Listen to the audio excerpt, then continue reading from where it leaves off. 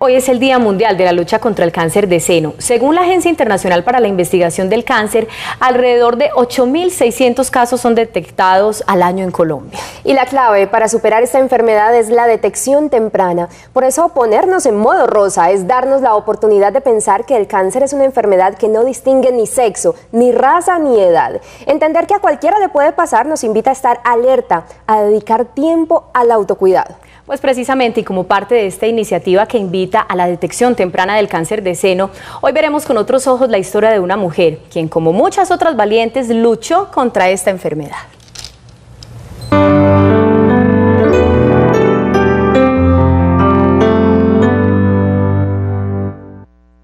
Bienvenidos a Con Otros Ojos. Hoy estamos en el Salón del Consejo, no para hablar de política, Hoy estamos en modo rosa para hablar del cáncer, esa enfermedad que nos puede llegar a todas y a todos en cualquier momento de la vida.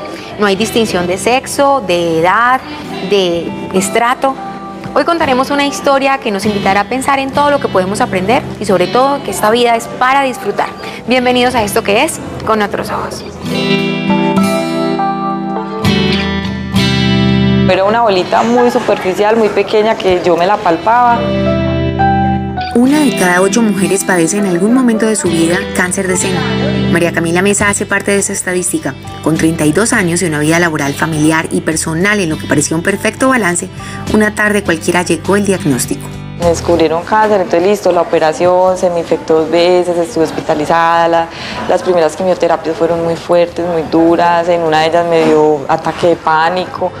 Hace un poco más de un año tuvo su última quimioterapia y aunque la lucha no fue fácil, está segura de que salió de ella transformada. Nosotras las mujeres somos muy apegadas a, la parte física, entonces eh, me dio miedo de perder mi pelo, me dio miedo de, de desgastarme físicamente, me dio miedo, inclusive cuando una de las infecciones que me dio, me dio miedo de morirme. Pero enfrentó sus miedos y la larga cabellera que antes lucía sí se fue, pero dio paso a una belleza que ella misma reconoce como más profunda y ahora su exterior refleja esa paz que ha alcanzado y una actitud de constante gratitud. Yo salgo y respiro, cierro los ojos, siento el sol, el viento, la lluvia, lo que sea, frío, calor Ay, y es tan rico que está uno aliviado, que nada le duele, que ya no te tienen que hacer quimios, que tienes salud, que estás caminando, que puedes hablar. Ya como que todo empieza como a surgir, que te empieza a crecer el pelo, que ya tienes ánimos, que superaste esto, que no te moriste.